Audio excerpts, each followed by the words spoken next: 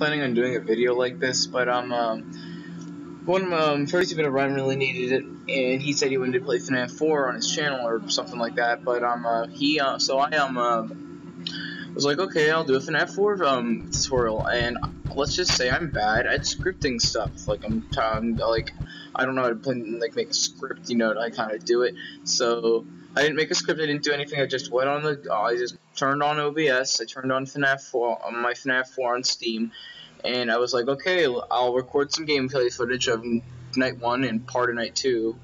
And um, uh, I um uh, was like, okay, so, um, this shouldn't be too bad. Um, turns out it's gonna be really hard to do because I have to voice over this entire video now. So um. So as you can see, this is like a basic guide on how to be a Five Nights at Freddy's 4 because I know a lot of people are confused about how to play this game exactly, and um, uh, I was just um, I'm I was just showing you guys the room like so okay let's just get off the dumb story already. So you're in the bedroom. There's you there's two doors on your left and right, and um, uh, there's the closet in front of you. And um, uh, yeah, if you click on the door, you'll run to it. Which like this is like the first FNAF game that actually had animation other than the jump, just the jump scares. And um, uh, so um, uh, like the game says, if you hear bre um, um, when you're once you're at the door, um, you have to listen carefully um, for the breathing. If you hear breathing, you have to hold shift to shut the door. And if you don't hear breathing, you have to flash on your flashlight. Now, I know a lot of people that I've seen who play this game have trouble with listening for the breathing, and um, um I'm here to kind of help you, kind of. I'm saying kind of a lot because I don't, I'm not 100% sure, but um, as you can see, I'm looking at the closet right now, and um, uh, I will explain that in a later video and who it goes in there. But um, uh, for now, I'm just teaching you guys the basics on how to beat, you know, the order of the game, um, how to fend off against the um, Bonnie, Chica, and Freddy. So, a lot of people have trouble with the breathing, and um, uh, I did too when I first played this game. I started playing this game two weeks ago for the first time. I know, never touched this game before. I got it on Steam a while ago, but I never touched it because I was always too scared to play this game. It, uh, out of every FNAF game I played, this game was always the scariest for me. Um, because the breathing's really faint, and if you flash on your flashlight, when you hear the breathing, they will instantly kill you. Sorry, I'm first Um, so I'm, uh, now the breathing, the breathing's the problem, okay? Um, you um my recommendation for holding the opening and closing the door like when you're at the door, sit there for about four, for like like like maybe three to four, uh, like three to five seconds. Just listen. Turn your volume up to like seventy percent and listen. Like it, it's like it, it's really repetitive, especially when the breathing's just like this. Um, the breathing, um, I will get a sample of hopefully if I can find it properly. So um, uh, that's gonna take a minute, and um, I don't know where I'm gonna find it, but um, hopefully I can find a sample. And um, uh, so if I um, as you can see, I'm just waiting for um, this game um is all sound cues.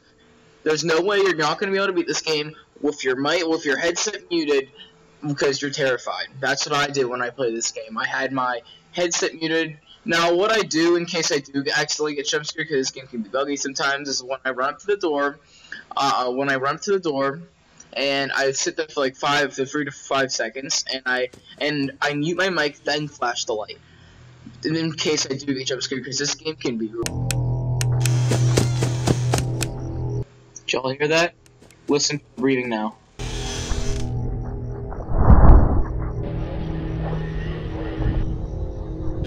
Now here's the sound of him walking away.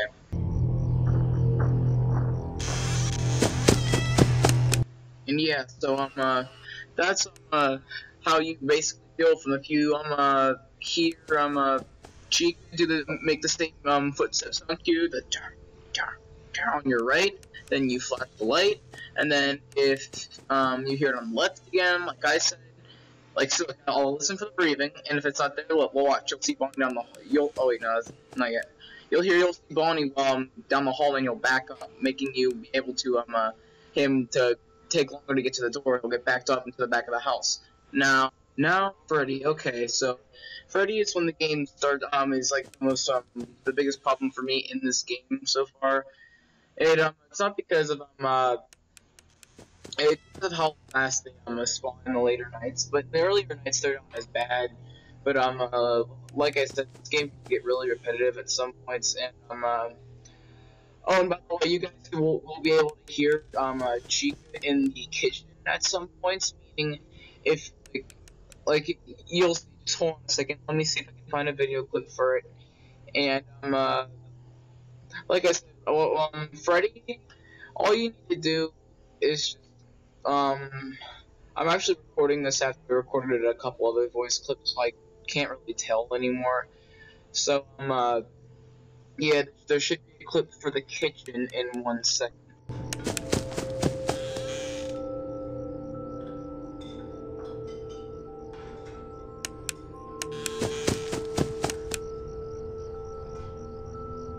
And yeah, that is the sound of Chica knocking pots and pans over. If you hear her, if doing that, that means she's in the kitchen, means she's not even in the hallway, it means she's really far away.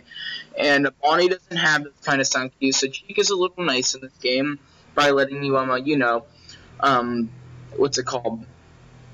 Um, letting you know where she is. And if you hear the pots and pans, that means a friend of mine told me how to, um, uh, to listen to that, so, um, uh, yeah, and, um, uh,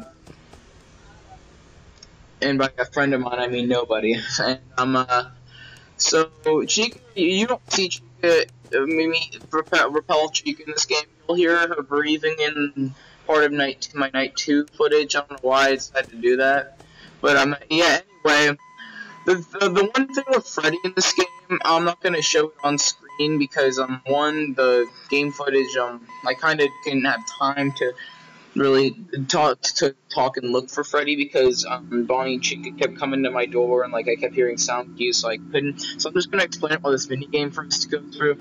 Um, uh, the, pro- uh, the problem with Freddy in this game is that his pulls little guys that sit in the bed and then appear um, appear too fast, and um, uh, they are really annoying, especially later nights because, like I said, appear too fast, and um, uh, especially a in the later nights. And oh yeah, I forgot about Flemish Plush Trap. So, um, um, this game isn't really hard if you hear if you hear foot um if Plush Trap footsteps like these.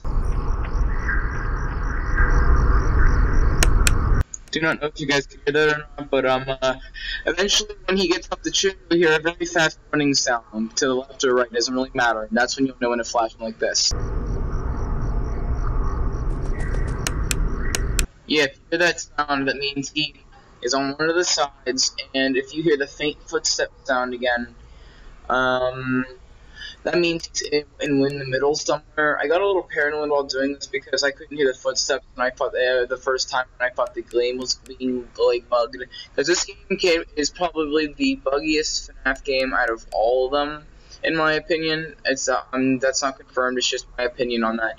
But um, uh, I got a little scared because um, uh, I was waiting for too long, and I was afraid that Fletch was going to jump scare me. trust me, the jump scares in these games are not fun at all. Trust me, I got jump scared by almost everybody in this game so far except for Plush Trap, and I didn't want to keep that streak off. So the timer up there means how much time you got to like you know to get him.